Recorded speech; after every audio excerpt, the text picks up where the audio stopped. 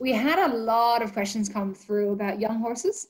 Um, mm-hmm. So obviously you're both training a lot of young horses at the moment. So trying to think like, yeah. what are your training programs that you've got in place? Um, do you have it for an individual or have you got like a kind of group program that you start everything on? And Monica had a really good question. Um, how do you promote balance and engagement, particularly in young horses? Say that one again. How do you promote balance? Balance and engagement, particularly in young horses. oh, that's a it was a good one, wasn't it? Yeah, I, will I'll take the first part. I'll take the first yeah. part. So you can answer that.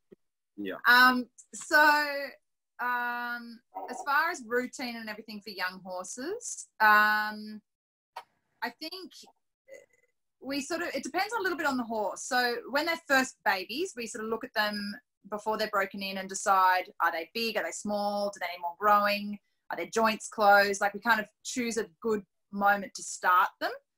Um, most of ours we tend to aim for young horse classes only because it's quite a nice experience for them, especially as four year olds, to first um, get going.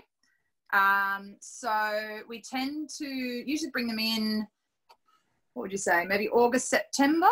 Um, and in the, in the year that they turn four. So we tend to get them going around then, give them plenty of time to get into the routine of training, give them plenty of time to build strength because most young horses, let's be real, they tend not to be able to even canter in a straight line, trot in a straight line if you're lucky. Um, so we give them plenty of time to get used to that and get used to a routine as well. Dave and I were actually discussing this earlier because Bethany sort of told us a couple of people have asked about young horse classes. Um, and we were saying that it's really important to develop um, a good routine for them because when you first take them out, they really need to, that's their first experience of being confident. Like they have to learn how the competition world works and it's not a big deal. It's not stressful. It's not a worrying sort of atmosphere. Um, so we tend to lunge them a little bit when they're babies, um, obviously for our safety and also to get the horses to have a bit of a, um, a way of going.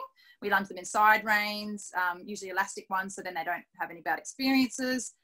Um, and we do like to try and get our babies to the point that they can do walk, trot, canter, and a little bit of lateral stuff. So a little bit of leg yield, perhaps a little bit of counter shoulder in or shoulder in.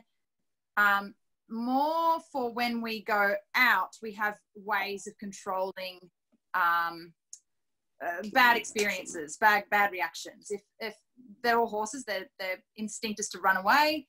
We can't physically hold on to them, so things, little lateral movements and things are really really good to just have a basic understanding of that. That when they have a bad fright or they get a scare, then you can you can train that in. So um, and you can put that in. So that's probably um, we usually give them a little bit of spell over Christmas. That's the other thing. So we'll bring them in.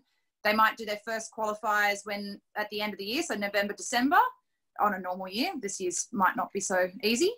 Um, and then they usually have a couple of weeks off over Christmas, and we let them have a bit of growing time depending on the horse. Um, some of the big babies might get a little longer because they need to have more time to just develop and then we bring them back in. Hopefully they've qualified for some events and we might do one or two more shows. Um, just smaller events. We were saying that's the other thing is we tend to take them to another property before we take them out for the first time. Um, so we might take them to my mum's got a property around the corner so we might take them there or to a clinic or a protocol day for the first time and then um, we compete them after that. So everything is developed fairly slowly. Um, we don't really want them to have a basically the number one thing is that they don't have a bad experience. They're always confident. If they need to be led to an arena because they're worried, that needs to happen. Um, I think Bethany said one of the comments was, "How do we keep them quiet and calm?" Um, we try and keep the routine the same when they're at a competition for the first time. They'll get a lunge. Someone might lead them to the arena. Um, if we have to, we will give them a better calm or something similar, um, something that will just take the edge off them if they need that's, to be lunged at home. That's, that's, not a drug, by the way. No. no, we just like to make sure everything One is, of those calming days. um, um, yeah, it's not, it's not sedation. Um, Doesn't come in a needle and syringe.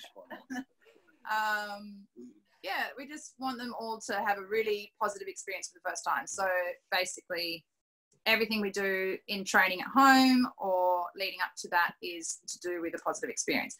And as far as the engagement and impulsion in a young horse, that's all up to you. I can, I, am, I can tell you. So, you know, uh, we have we have a four year old that just went. And, uh, Robbie took to Willinga Park um, and did a few things on. And when that one turned up, it was you know had really massive paces, no strength, um, no engage. Like the word engagement was left at the front gate. Um, Big there was baby. nothing going on. So what we actually do with a lot of them is take them out, um, take them hacking out. Uh, we ride them. We're lucky enough here that we have hills and we ride vineyard and we have a lot of space uh, to ride them out. And especially with a horse that struggles um, in canter, which most young horses do, then you can canter them out uh, and keep cantering in a, in a long uh, space or you know a big space rather than the 20 meter arena or 60 meter arena where you know they take three strides down the long side and you're already at the other end um, so i think uh, if your young horse is safe enough then uh, take it out of the arena and, and ride it out if you have space. Um, if you don't have space like that then loads of transitions you know basic transitions walk trot um, trot canter. Okay the trot canter canter trot is a bit hard when they're young but um, lots of walk walk trot Within the pace yeah as well. transitions with well, it's a bit hard when you're trotting trying to hold on for dear life but um, it's yeah it's trying to make transitions i think really helps them develop strength and um, engagement but you know don't with your young horse don't get too focused on thinking oh is it engaged or oh is it this you know i think it's really more important that you can get them to go forward and evenly into the contact that you know already that you're not gripping with your legs and helping them all.